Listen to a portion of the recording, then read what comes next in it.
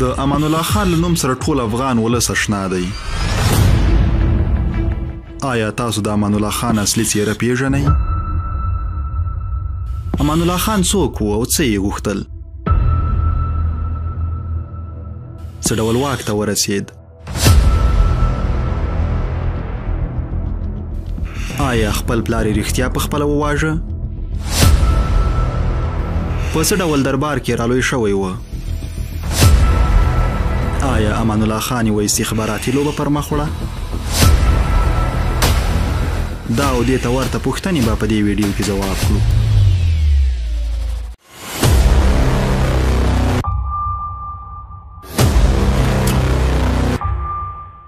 افغانستان ممکن په نړۍ کې یوازینی اسلامي هیواد وي چې اوسیدونکو یې هر وخت هیواد ته د پردیو افکارو د ورود مخه نیولې ده د دې هیواد خلکو د امان الله خان په وخت کې د سیکولریزم مخه ونیوله د نور محمد ترک یو کمونیستانو پر مهال یې د کمونیزم او الحاد مخه ډب کړه او دا د اوس یې د لیبرالیزم او دیموکراسۍ مخنیوی وکړ د دې لپاره چې هیواد ته د پردیو افکارو د ورود له سلسلې آګاه شو لومړی یې له سیکولریزم را پیلوو سیکولریزم څه ته وایي سیکولریزم له انساني ژوند د دین د لریوالي تګلاره ده دا نظریه په اصل کې د الله تعالی او د هغه جل جلاله د رالګل شویو ارشاداتو په وړاندې د ماډرن انسان بغاوت دی سیکولریزم دین د انساني ژوند له ټولو برخو لیري او یوازې انسان په نفس او ضمیر کې راګیروي دا په داسې حال کې ده چې کائنات د الله تعالی تخلیق دی انسان او ځمکه د همدې خلق شویو کائناتو برخه ده نو د دې پر ځای چې انسانان او نړۍ د کوټه افکارو او نظریاتو حاکمیت ومني د سالم عقل فیصله دا ده چې یوازې باید د الله تعالی قانون خپل کړي سیکولریزم د دین تر ردولو وروسته د دین تشه له الحاده په زیږیدلو کارو تګلارو ډکوي سیاسي برخه په ډیموکراسۍ اقتصادي برخه په کپیټالیزم او اجتماعي برخه په لیبرالیزم ډکوي مګر اساسي پوښتنه دا ده چې په افغانستان کې د دې نظریې د ترویج لومړۍ هڅه چا وکړه افغانستان ته د غربپالنې تصور لومړی ځل د امیر شیرعلي خان د حاکمیت پر مهال راوارد شو امیر شیرعلي خان چې په اروپا کې یې زده کړې کړې وې تر ډېره هڅه کوله چې د نظام ظاهري بڼه لکه د دربار جوړښت، د پوځ طرحه او داسې نور په اروپایي طرز عیار کړي. مګر تر دې ورهاخوا یې په ورځني ژوند کې د اروپایانو تقلید نه غوښت، خو تر امیر شیرعلي خان وروسته امان الله خان لومړنی شخص و چې د ژوند په ټولو برخو کې غربي طرز خپلول غوښتل او په لویه سطحه یې د سیکولریزم د ترویج هڅې پیل کړې. امان الله خان زمونږ افغانستان کې معلومه خبره ده چې څو کورنۍ په حکومت کړی دی څه وخت کې مثلا هوتکیانو حکومت کړی دی بیا وروسته ابدالیانو حکومت کړی دی چې احمدشاه بابا یې مؤسس او تر هغې وروسته محمد زین دی چې بنسټګر یې حمید الصمد خان دی نو احمد شاه دغه د امان الله خان واک معلوم دی د حبیب الله خان زوی دی حبیب الله خان د عبدالرحمن خان زوی دی عبدالرحمن خان د افضل خان زوی دی او افضل خان د امیر دوستمد خان زوی دی دا تقریبا د امیر دوستمد خان په مسیانو کې راځي د محمدزي کورنۍ په سلسله کې دی او په د افغانستان واکمنو د پلار وژل کېدونه وروسته واک ته ورسېد دا چې څنګه واک ته ورسېد هغه بیا بېلې خبرې دي خو دا پاچا شو او تقریبا نه کاله او څو میاشتې د حکومت کړی دی او بالاخره د خلکو د عمومي قیام او پاڅون په نتیجه کې د افغانستان پر خودلو ته مجبور شو او لاړو ایټالیا کې ژوند کو بیا په ایټالیا کې کلونه کلونه ووسېدم بیرته افغانستان لګا کړي څو ځلې دغه چې ما افغانستان لپاره خو چا اجازه ور نه کړه وروسته محمد زین چې وو نادر خان کورنۍ ظاهر شاه دغه په وخت کې نو بالاخره په ایټالیا کې وفات شو او هلته د هغې ځینې د هغې وصیت سره سم مړی افغانستان ته انتقال شو او په ننګرهار کې ښخ شو نو تقریبا نه کال او څو میاشتې حکومت کړی امیر حبیب الله خان د خپل حاکمیت په لومړیو کې ځینې کارونه وکړل چې نیکه نتیجه یې تر اوسه پر ځای پاتې ده خو د دې ترڅنګ هرنیو میلمنو ترڅنګ د روشن فکرانو په نوم له غربي کلتور څخه متاثر ډلې کې فعالیت درلود. د امیر شیر علي خان بې غورۍ له عیش او عشرته ډک دربار چې امیر یې کاملا راحصار کړی و، په دولتي ادارو کې فساد او رشوت او څه نور عوامل د روشنفکرانو ډلې ته د لا فعالیت زمینه برابره کړه. امان الله خان د دربار د همدې روشنفکرانو تر تاثیر او پالنې لاندې په داسې یو ماحول کې رالوی شو چې فضا یې کاملا غربي او پردۍ وه. عقلي بلوغ ته تر رسېدو وروسته هم امان الله خان د دوی تر پراخ تحقیق تاثیر لاندې و د روشنفکرانو اساسي مرجع حبیبیه مدرسه اوسنۍ حبیبیه لیسه وه پر دې سربیره له دربار او حبیبیه لیسې د باندې هم روشنفکرانو فعالیت درلود دا ډله د غربي افکارو دیموکراسي پیرو وه او غوښتل یې امیر له واکه لیرې او شاهي نظام په مشروطه نظام واړوي دې ډلې د امیر له بیغورۍ په استفادې په هیواد کې د نوي تمدن او فرهنګ په نوم د سیکولریزم او غربګرایۍ د خپرولو هڅې پیل کړې چې وروسته یې نتیجه د امان الله خان په څیر شخص کې راووتله دا خو معلومه خبره ده چې امان الله خان لکه چې ما مخکې مو ویل چې د پلار د شهادت نه وروسته واک ته ورسېد او دې فلم باید دغه وي چې هر شی دغه موضوع هر خبره په شا کې او شالید کې او دغه لري په سمندر کې او خبره لري په افغانستان کې موږ تاسو په تاریخ مطالعه کړي د مشرته غوښتنې او غورځنګ دا مشرته غوښتنې غورځنګ د عبدالله خان په وخت کې پیدا شو او تر وخته پورې کله چې عبدالله خان په دې پوه شو دی غوښتل چې په افغانستان ازادي ترلاسه کړي او ضمنا په افغانستان کې شاعري مطلقه نه بلکې مشروطه حکومت چې هم پکې پارلمان وزیران او ورته دغه وي ټول مستبد واک د یو سړي په لاس کې نه وي دا دغه محمد سرور واسي په یو ډله علماو ترمنځ دا دغه شو کله چې عبدالله خان په دې خبره خبر شو بالاخره هغه خلک یې ونیول چې بندیان کړل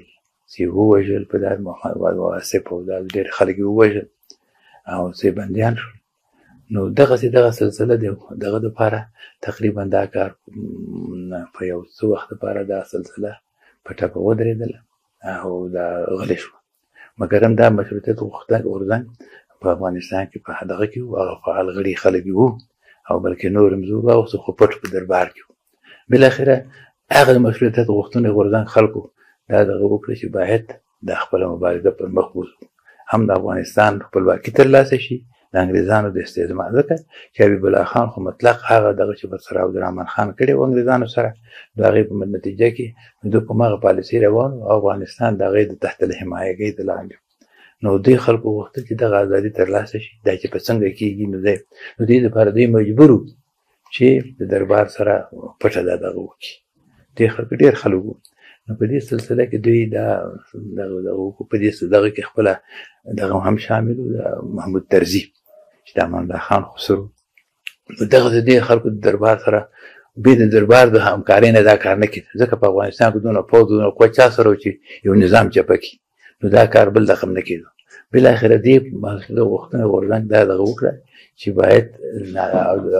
حبیب الله خان چې په هره سلسله کې ده په هره طریقه کېږي له منځه لرې شي ووژل شي او واک دغه له وسپارل شي واک د مسلکي غوښتنې غورځنګ خپل هدف له ورسي نو د دې خاطر دی امان الله خان دغه او د امان الله خان سلسله هم وه د امان الله خان مور چې وه بي بي سلطانه هغه د دغه سره مخالفه وه خپل د حبیب الله خان سره مخالفه وه سخت حتی هغه طلاقه کړې وه حبیب الله خان خو ډېر عیاش او فحاش او دغه سړی و تقریبا درې سوه ښځې په ار کې ساتلې وي او د دې لپاره به دا دغه کوو نو بالاخره دا ښځه دغه ښځه د امان الله خان مور په دې له رضا کړه چې موږ دا ستا زوی واک له رسو قدرت له خو ته د موږ سره دغه شه او حتی طلاق طلاق رسمي نه وای چې ولي خو مقصد دغه ور سره رابطه ور دغه ور سره نه کوله او په مر کې ور کې اوسېدله نو بل اخر دغه دغه سره په دغه امضا کړه سردار نصر الله خان چې امان الله د حبیب الله خان ورورو هغه په دغه کې واخیستو او قدرت دغه د سوي چې په لمړی قدم کې چې مثلا قدرت به سردار نصر الله خان لسپاري او امان الله خان به دغه وي خو بالاخره بیا کله چې قدرت له خلکو ورسېدل نو پوهېدل چې سردار نصرالله خان بالاخره د لغمان په کلګوش کې حبیب الله خان ووژل شو همدغه دغه خلک هغه کسان چې وو په مرموز ډول ووژل شو نادر خان خپل هم دغه ته و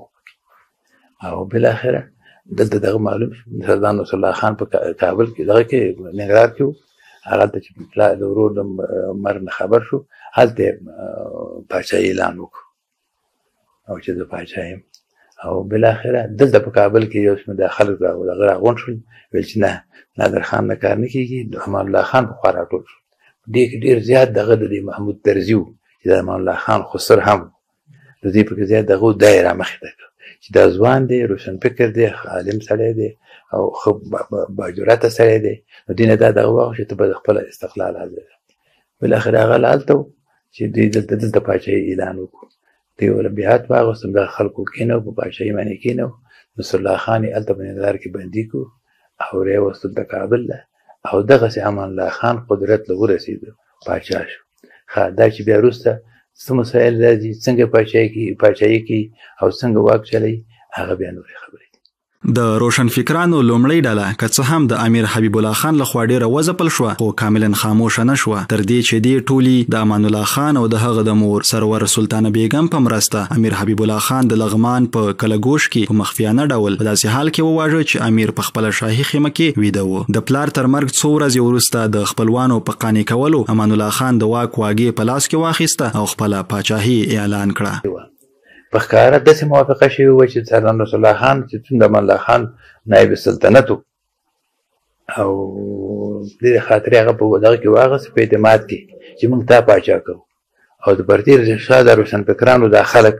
هغه مشروطیت غوښتنې خلک او جمع د امان الله خان مور چې هغه مرکزي محور اساسي دغه ټول د ماغه دغه طرح و او خپل امان الله خان خو د دې په دغه کې محمود طرزي ډېر رول درلود ځکه چې نږدې په دې کورنۍ کې حتی امان الله خان دی سردار عنایت الله خان د دوه لورګانې دي ایب الله خان له ورکړې او دغسې ځان په دې دربار کې دغه کړی ډېر بانفوذه سړی و د دربار او بل بر غرل باندې تلو او دغه لم دغه هم تیر کړی جلا وطن هم تیر کړی و بیا د عبد الله خان په وخت راغلی د ازادۍ د پاره ډیر لیواله او ډیر عالم او با تدبیر سره او نو مقصد دا شې دی چې په دې کې پوره د دې راغلو دا واقعیت دی او دا چې مثلا تر اخره پورې ځینې خلک یو څو خو یې څو بل خو خو په مرموز ډول دغه وجل شوی دی امان الله خان بالکل خبرو په دې مسله خبرو دلته دغه د سر مطرح و خو دلته ځکه دې خاطر نمړې شول او د مشر د خواهان کې دای په قدرت ورسو هغه هلته بندي کو جاره دلته راوسو په زندان کې عمر شو او سردار نصر الله خان د روشنفکرانو په دویمه ډله کې په فکری لحاظ تر ټولو مخکښه څیره محمود طرزی و چې له غربي افکار او ګرایشونو کاملا متاثر و طرزی په استانبول کې تر اوسېدل وروسته غربي ګرایشونه خپل کړي وو دی په ترکیه کې د کمال اتاترک او په ایران کې د رضا شاه پهلوي د فکر پلوی و. سراج الاخبار چې د امیر حبیب الله خان په وخت کې په کار پیل کړی و او لومړی ګڼه یې هم همالته چاپ شوې وه محمود طرزي ته د انګریزي استعمار په خلاف د اواز پورته کولو سربیره د سیکولریزم د خپراوي پراخه زمینه برابره کړه. ټول تاریخ لیکونکي په دې اړه په یوه خوله دي چې محمود طرزی د امان الله خان لپاره یوازینی فکري مرجع وه چې د سیکولریزم په خپرولو کې ورسره مرسته او ملاتړ کړی. لکه مخکې چې انګريزانو او درمان خان لویل چې دغه یو د مغه مجاهدین چې هغه جو کو جبهي والی انګريزان یې زغلولي هغه یو ژوند دی پرې نه خو دغه ټول وبجل دغه د ملا مشکې علم او مثلا ځینې بندیان کړل ځینې ځینې ووجل محمد جان خان وردک دغه سي دغه سي مجاهدین دغه سي مبارزین چې په هغه دا دویم جنگ افغان انګلیس نه لومړی جنگ افغان انګلیس نه بریری وتلی هغه د انګریزانو په اشاره باندې د ټول هغه ډول کړ دا کار دی خیر ظاهرا خو دا خطرې خطر کو چې دی پاچاهي وړي واک وړي قدرت وړي زما دغه افغانستان امنیت او دغه خطر به شي خو ته پرچی پر دې ته شه دغه همدغه چې عبدالرحمن خان دغه عیب الله خان هم دا کار کوي نام الله خان دغه تربیه دغه څه په بغي شو خو دا تربیه دغه په د پلار په ځد شوی و حتی در دې شوی و چې د امان الله خان مور یو ورځ راځي او ګوري چې حبیب الله خان د خپل داوینځ او مېرمنې او دا دغه څو په دې داسې ډنډې ول جوړ کړی او هاوس په دې هاوس کې لوڅې به ګرځېدې دا به ور په شاوخوا ګرځېده او خوا دې خوا به بچار سو به خوښه شله هغه ځان سره به وله بل دغه دا دا ملک سرور سلطان سرور دا دا خبره شوې او دا دا راغلی و او داسې لرګی لاس کې وو او دغه ښځې ښځې دغه کړې وې دا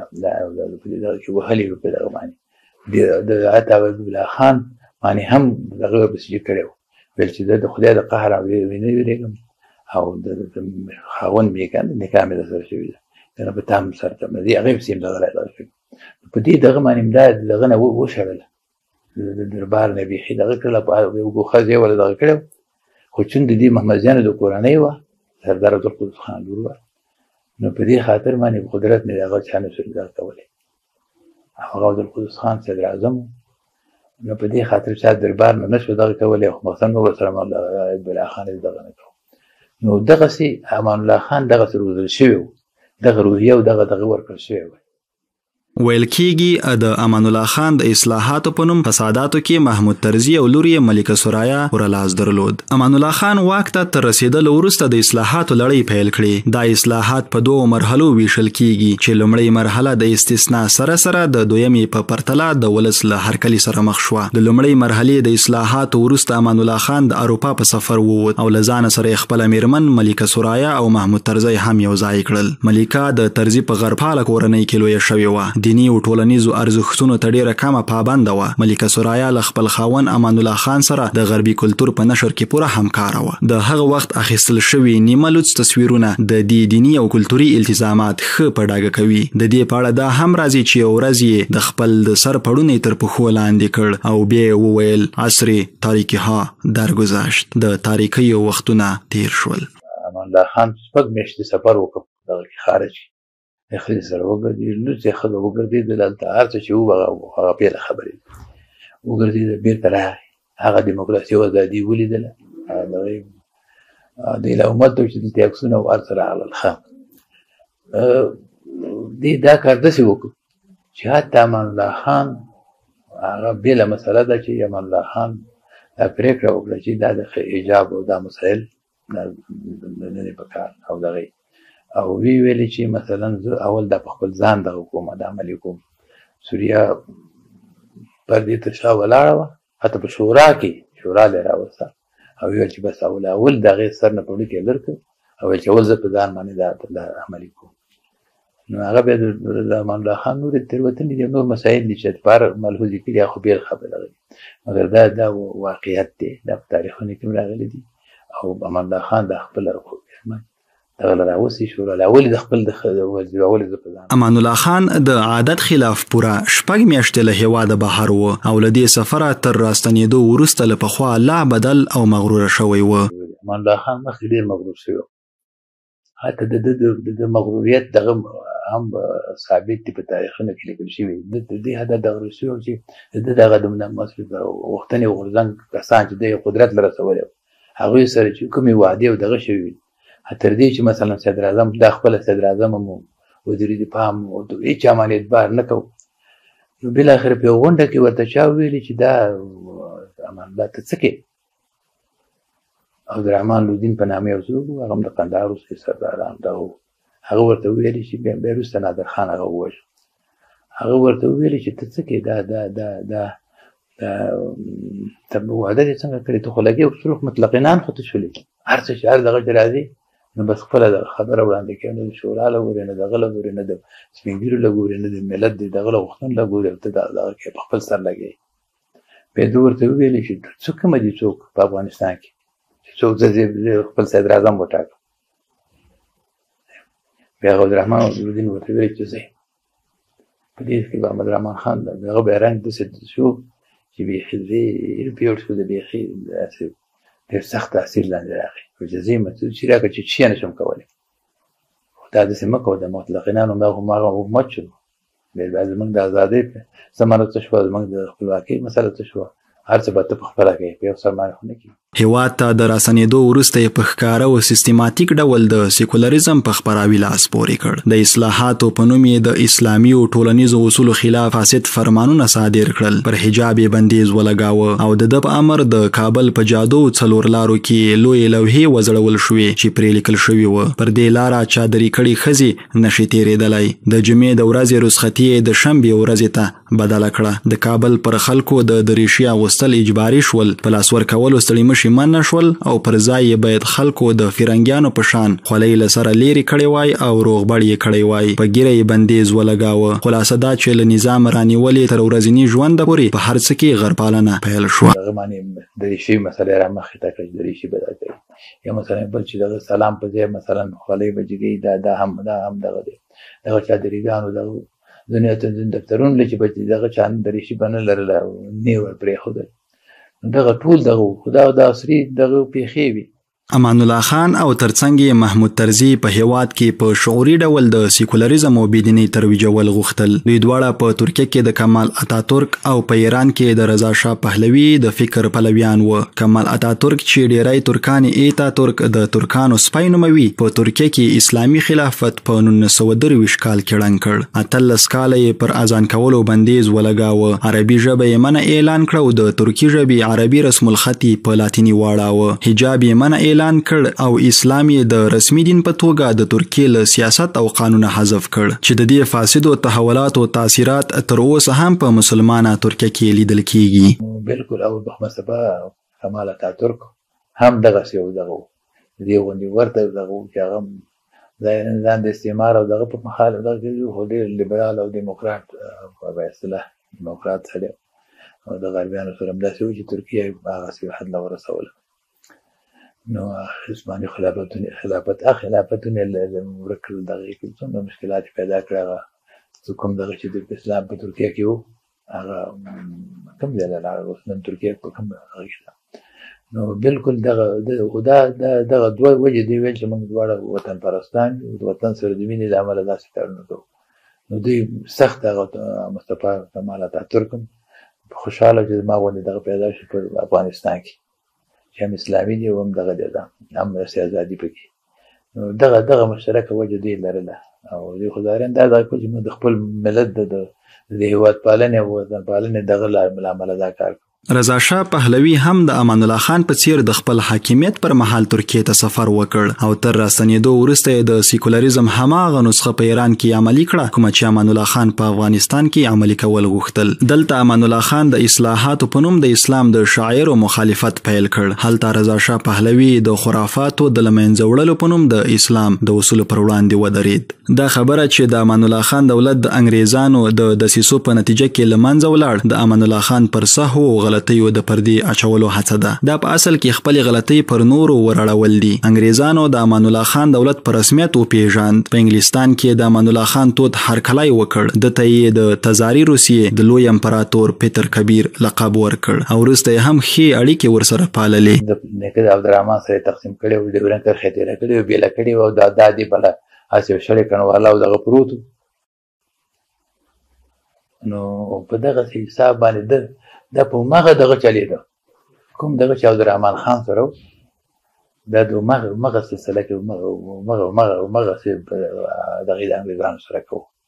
خیر ظاهرا د روس سره دغه کولا سر خو د وکندل د دنیا سره دې پر اسمه پیژندل خو په افغانستان په دغه کې ځکه په دې کې دغه راغلی وي نو لږ تر لږه د هغه پښتنو چې نن څلوېښت پنځوس میلیونه خلک دي پښتانه دي د افغانستان جز وکنه جز وکنه د افغانستان د ډیورنډ د منحوس کرښې په اساس باندې ګل شي څوک د داسې راوخی چې د امان الله خان د ازادۍ دغه نه وروسته د دولس سوه اته نوي کال نه وروسته بیا تر مرګه پورې د دغه پښتنو غم خوړلی دغه پښتانه غږ ودرېد بلکې هلته چې به انګرېزان نه تنګ شول هغه پښتانه مبارزین چې د اسلام او د پښتنو د افغانستان د ازادۍ لپاره یې دغه کول حاجي بدل ته راغله دی هلته دغه کول بندیانه وایي یې پنجشیر له لېږل یا یې داسې لېږل مزار له چې مغسل روس له ډېرې په مغسل روس له لاړله بیا وروسته کمونیستان شول پلار دا کار کړی ډېر وزیرستان څو جرګې راغلی ټول خلک راغله هند نه مسلمانان راغله چې موږ دلته حکومت جوړو د انګریزانو په ضد دغه کوو دا جهاد کوو دغه کوو دا به موقت حکومت د مسلمانانو په افغانستان مګر د هغې اجازه ونه ورکړي او دم نه ده ورکړې تر اخره تر اخره پورې بالاخره دا خلک لاړل او دې ځنه ته به راغله یو شپه مې چې وکړه بې بوت د جبل سراج کې ورځې هلته دغه ده تعمیرونه دې دغه دي که نه پخواني د عبدالله خان د وختونو د برق هلته بیا څو موده دېره کړه او بیا بیا غېږه ده اوس چې کله وایي که نه چې موږ باندې کله کله هلته موږ دا کې ویل چې موږ باندې اوبه را خوشې کړي او دغه را خوشې کړي یعنی واقعیت چې څو کورونه هلته وو دغه اوبه د پنجشیر سیند پرې دغه شوي او هغې نه دغه شو نو په دغه دغه کې دا دا خلکو دغه دغه سړي قطعا دغه دغه دغه دغه مغه ګان سره په پټه به دغه ساتله خو د ښکارا دغه نه دی کړی حرکت چې دغه د یو ملت دغه دغه د شپېته میلیونه نن پنځوس څلوېښت میلیونه پنځوس میلیونه پښتانه به هغسې بسر که په هغه وخت کې دا دغه شوی وي نه یوازې هغه نه دی کړی د هغه نه وروسته ظاهر شاه هم نه دی کړی د هغې نه وروسته نادر خان هم نه دی کړی ظاهر شاه هم نه دی کړی تر اخره پورې هسې دا مسایل چې وو هسې د خلکو د غولولو لپاره ملت غولوو چې موږ دغه پښتنو یا دغه غلغم کنه کله چې پاکستان جوړېدو تاسو څه فکر کوئ چې افغانستان هسې خپې دربولې وې انګرېزان خو هسې هم تښتېدل څه شول څنګه شول خبره دا ده چې دا هسې دغه نو هغه په ښکاره دغه و دغه بیا په خلاف یې یو ازادي به وه دلته وروسته له ځان نېغ نېغ کوو که نه او همدغه معنې د انګرېزانو حساسیتونه نور هم زیاتول خو مخ مغه پالیسی مخ عبدالرحمن خان چې کومه پالیسی د لور کړی و چې انګريز سره په دغه چلی انګريز د عبدالرحمن خان او سید نامه چې چاپ شوی ده تاسو ته متل بیان کې تاریخ افغان وګوري د فارسی د مدني اخره کې وسید نامه لیکل ده عبدالرحمن خان به دغه وی عبدالله خان خپل آینده له زما تاسو له توصیه ده چې انګريز سره په مغه دغه چې تاکم دغه چې سره ما کړی په دغه بچلی تاریخ لیکونکي په دې اړه په یوه خوله دي چې د انګریزانو لخوا د امان الله خان د دولت خلاف د سیسو په اړه هیڅ لاسوهنه وجود نه لري په دې اړه پوهان ډاکټر محمد حسن کاکړ لیکي په رسمي ډول سره په تاریخي اوراقو کې مات داس شواهد چې وخی بریتانوي حکومت د امان الله خان پر اچپه کولو کې سهم لري او اقدام کړی معلوم نه دي او بعد دا وویل شي چې امیر امان الله خان له بهرنیو سفرونو څخه د راګرځېدو وروسته مخصوصا په انګلستان کې حکومتي چارواکو او خلکو د امان الله خان استقبال نظر هر بل هیواد ته زیات کړی وو. امان الله خان هم د دوی د دغه ښه استقبال څخه نهایت مشکور وو. بریتانوی حکومت اساساً د امان الله خان د اصلاحاتو مخالف نه وو او په دې باندې واقعاً خوښ وو چی په افغانستان کې دغه ډول اصلاحات راشي. همدارنګه انسایکوپیډیا ایرانیکا هم د امان الله خان د تجددګرا هڅو د ناکامیدو په اړه په یوه لیکنه کې وایي په دې اړه چې ولې د امان الله خان د عصري کولو هڅې ناکامې شوې مختلف نظریات شتون لري. زیاتره افغانان په دې اند دي چې بغاوتونه د انګریز د دسیسو پایله وه خو د بریتانیا د هغه وخت په ډیرو پټو اسنادو کې ژورې څېړنې د دې تور په اثبات کې پاتې راغلي دي او پر دې سربېره نور د پام وړ شواهد هم شته چې دا خبره غلطه ثابتوي په دې اړه امیر غلام محمد غبار افغانستان در مسیر تاریخ کتاب کې لیکي امان الله خان د اروپا له سفره تر راګرځېدو وروسته ډیر مغروره شوی وو او په هغه بیړې سره چې د اصلاحاتو په برخه کې یې وکړه هیواد د یوې چاودنې خواته بوت دربار له دودیز شکله په غربي شکل واوښت کالر او نکټایي د وطني یخن او ساده کالیو ځای ونیو عیاشي او وخت ښه تېرول پیل شول رښتینی او ګټور ریفورم په موزیر او فرعي لوبو بدل شول د اصلاحاتو د تطبیق په اړه د خلکو ارزښت تونه، هیلې او غوښتنې له پامه وغورځول شوې. د دې پر ځای چې د خلکو اقتصادي ستونزې حل شي، شاه د بې ځایه او حساسو مسایلو په تبدیلۍ لګیا شو. دا یوه ستره استخباراتي لوبه وه چې انګلستان په افغانستان، ایران، ترکیه، پاکستان او هندستان هیوادونو کې په لار اچولې وه. انګلستان په ترکیه کې د اتاترک په توسط چې د سیکولر فکر خاون و اسلامي خلافت ړنګ کړ. همدارنګه په ایران کې رضا شاه پهلوي د اتاتورک په نقش قدم روان شو او په خپل هیواد کې د سیکولر نظام جوړولو هڅې پیل کړې د عالمانو له سرونو یې پاجونه ښکته کړل حجاب یې منع اعلان کړ او ښځو ته یې د نارینهو ترڅنګ د ګرځېدلو ازادي ورکړه همدارنګه پاکستان هم د انګلستان له لوري په نولس سوه او څلوېښت کې رامنځته شو تر څو دا ټوله سیمه له همدې ځای څخه کنټرول کړي په همدې وخت کې هندوستان هم د انګلستان تر تاثیر لاندې و انګلستان په همدې لړ کې امان الله خان په پټه دې ته چمتو کړ ترڅو خپل پلار ووژني د امان الله خان حکومت د سیسي بنګریزانو شاته وی ډېر لري په دریم څلورم لاس کې مګر دا حکومت دی خپل دسې اعمال کړي دسې اعمال کړي چې چې چې چې په معمولی په دغه باندې ځکه چې نور دې ملت دې سترګې نه وي چې موږ دې جیبه دا مخکې مخ خپل جمهوریت وګورو شل کاله جمهوریت کنه د دې پنځوس مملکتونه امریکا په قوت په دون امکاناتو په دون دغه څونه سرمایه راغلې څونه دې کارونه دي دا وشو خو دا حکومت دومره پوشالي او دومره دومره دومره د بیخ نه نړېدلې او دومره ځکه دا داسې عمل دي خلکو کړي دي دغو چې هم خپل باداران دې نه دغه نه شو کولی نو او هم دې خپل په څه په څه معمولي دغه کې په دوه درې ورځو کې د منځه لاندې همدغسې خو جوشه دغه و خپله د واک پر ګدۍ کینی او د انګلیستان هغه فرمایشونه پوره کړي چې هغوی یې غوښتونکي و امان الله خان هم افغانستان د سیکولریزم په مرکز بدلولو هڅې پیل کړې اسلامي شاعر یې تر پښو لاندې کړ افغاني عنعنات یې له پامه وغورځول او په سیستماتیکه توګه یې سیکولریزم خپرول پیل کړل له دې ورهاخوا بیا د امان الله خان د میرمنې ملکه سرایا نیملوڅ انځورونه نشریدل او په همداسې کالیو او لباس کې ګرځیدنه د افغان ولس له احساساتو سره لوبي کول وو دا اندېښنه تر ډیره پر ځای ده خو دا چې د ملکې انځور دی فوټوشاپ شوی وي او د دې سر دی د بل چا پر تنې خودل شوی وي له حقیقت لیری بریخي ځکه دې کار ته له سره اړتیا نه وه د ملکې نیملوڅ اصلي انځور اوس هم په انټرنیټ او ارشیفونو کې خوندي دی داسې بریخي چې همدا عکس هغه مهال په کلیو ښارونو کې خپور شوی وي خو د دې ستونزې ګوته بیا هم ملکي او امان الله خان ته نیول کیږي نه هغو کسانو ته چې دا انځور یې نشر کړی و په داسې یو هیواد کې چې نه نوي سلنه اوسیدونکي مسلمانان دي د ملکي لخوا داسې اسلام دښمن اقدام چې له مخالفت سره مخامخ نشي نو څه به وشي پر دې سربیره ترکیه ته له شرعي محرم پرته د افغان نجونو استول هم د اسلامي شاعر سره د امان الله خان ټکر په ډاګه کوي همدارنګه د امان الله خان توند خوی اسلامي اصولو ته کمه پابندي، د ولس ارزښتونه له پامه غورځول، د غار بړون تقلید او د پرمختیایي کارونو پر ځای په بیګټې او حساسو مسایلو اخته کېدل د دې لامل شول چې هیواد د پرمختګ په برخه کې پیړۍ پیړۍ شاته وغورځوي. چې دغه نور خلکو ملت دومره بیزاره دومره بیزار او دومره ودی او اردو د دې بیزاره و چې دوه درې لکه اردو خو وه ښه منظم جهاز حکومت و د امان الله خان د د د پنځو دقیقو لپاره یې دنه دغه ونه کړه دفاع یې ونه کړه ولس یې دفاع ونه کړه د دې په مقابل کې هغه سقا او زوی غوندې سړی ومنه داسې داسې متنفر دي دا خلک ولس ولس په خپلو سترګو لیدلي که نه زه درته وایم زه دا زه دغه دغه اوس د جمهوریت نه جمهوریت نه د خلک داسې متنفر څه شو هغه درې لکه اردو چې درې لکه اردو مجهزه اردو وه یو یو چا ټس وکړو خبره دا و چې دا دا دا خلک ولس متنفر شوی او درک کړي و چې دا خدای دغه سل په سل کې د ملت دغه نه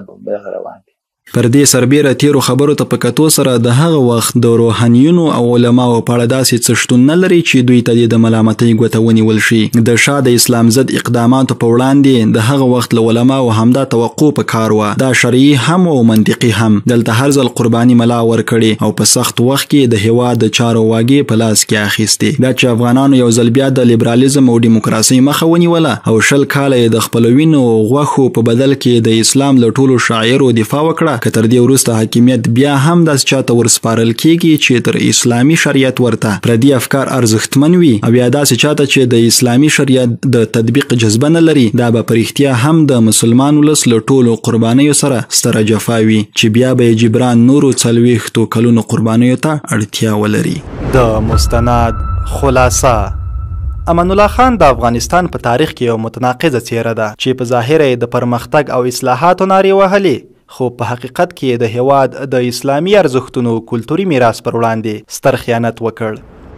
هغه د خپل پلار تر وژلو وروسته واک ته ورسېد او په زور یې د سیکولریزم او غرب پالنې ترویج پیل کړ. د هغه د واکمنۍ پر مهال اسلامي اصول تر پښو لاندې شول، پر حجاب بندیز ولګېد، د جمعې د ورځې رسختي لغوه شوه او غربي کلتور د افغانانو په ژوند کې داخل شو. امان الله خان د خپلې مېرمنې ملکه ثریا او د خپل فکري لارښود محمود طرزي سره په ګډه د افغانستان د دیني او ټولنیزو ارزښتونو د له منځه وړلو هڅه وکړه. دا د هغه ناوړه اعمال او اقدامات و چې بالاخره یې د خلکو غوسه او پاڅون را وپاراوه او د هغه حکومت یې نسکور کړ. د امان الله خان د سیکولر او بې دیني هڅو تاریخي بېلګه به تل د افغانانو په ذهن کې پاتې وي.